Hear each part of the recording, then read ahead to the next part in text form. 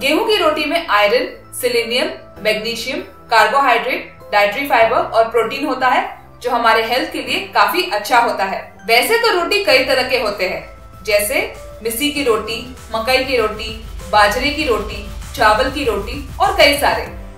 लेकिन गेहूँ की रोटी सबसे ज़्यादा लोकप्रिय और ज़्यादा हेल्दी माना जाता है। गेहूँ की रोटी में सेलेनियम होता है, जो हमारे बॉडी में कैंसर होने की टेंडेंसी को कम करता है। गेहूँ की रोटी में प्रोटीन और कैल्शियम होता है, जो हमारे मसल्स को स्ट्रॉन्ग बनाता है, जिससे जॉइंट पेन कम होता है और आराम मिलता है। आयरन की कमी की वजह से हमारे बॉडी में खून कम हो जाता है।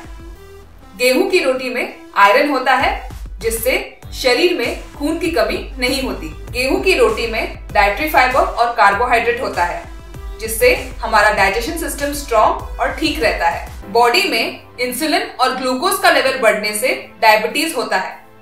अगर हम गेहूँ की रोटी को अपने खाने में शामिल करें तो इंसुलिन और ग्लूकोज का लेवल कंट्रोल में रहेगा और डायबिटीज़ होने का खतरा भी कम हो जाएगा। इसमें फॉस्फोरस होता है, जिससे दांत स्ट्रॉन्ग होता है और गम की प्रॉब्लम को भी दूर करता है। आजकल ब्लड प्रेशर की प्रॉब्लम आम हो गई है। गेहूँ की रोटी से ब्लड प्रेशर को कंट्रोल किया जा सकता है क्योंकि इसमें पोटेशियम होता है, जो ब्लड प्रेशर को नॉर्मल करने में मदद करता है। गेहूँ की रोटी खाने से पथरी, यानी किडनी स्टोन होने के चांसेस कम होते हैं, क्योंकि इसमें फाइबर होता है, जो पथरी को बढ़ने से रोकता है। गेहूँ के आटे में कोलेस्ट्रॉल नहीं होता, जिससे हार्ट की प्रॉब्लम नहीं होती।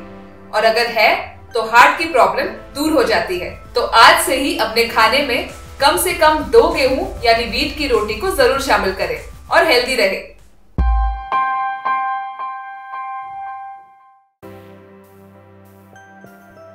आप जानकर हैरान होंगे कि गेहूँ के रस को पीने से आपको क्या क्या लाभ होगा। सही जानकारी नहीं होने के कारण हम इसका सही उपयोग नहीं कर पाते। गेहूँ के रस में chlorophyll zinc iron iodine minerals vitamin और कई तरह के न्यूट्रिएंट्स पाए जाते हैं। वीट ग्रास में क्लोरोफिल होता है।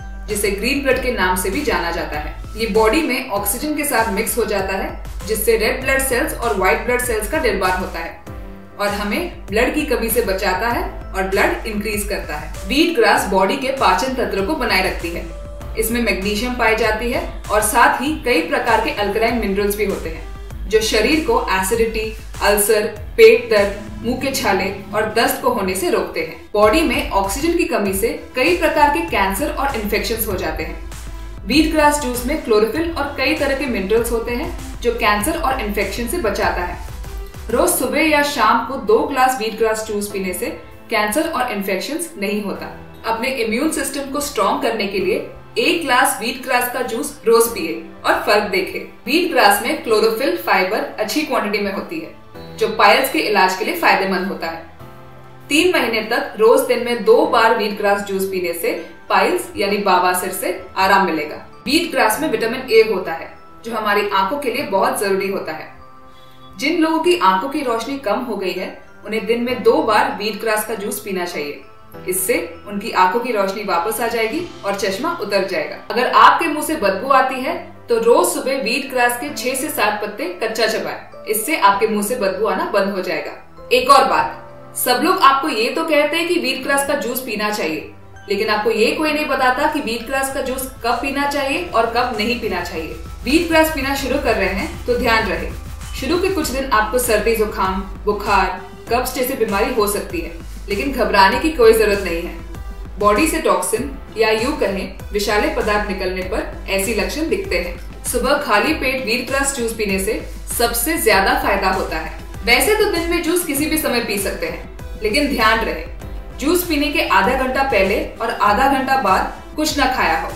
इसी तरह के और देसी नुस्खों के बारे में जानने के लिए अभी हमारे चैनल लाइफ केयर को सब्सक्राइब करें और अपनी फ्रेंड्स और फैमिलीज़ के साथ शेयर करना न भूलें। लाइफ केयर चैनल का मकसद है बड़ी से बड़ी बीमारी को दूर भगाना और छोटी से छोटी बीमारी को पास न आने देना। So take care and stay healthy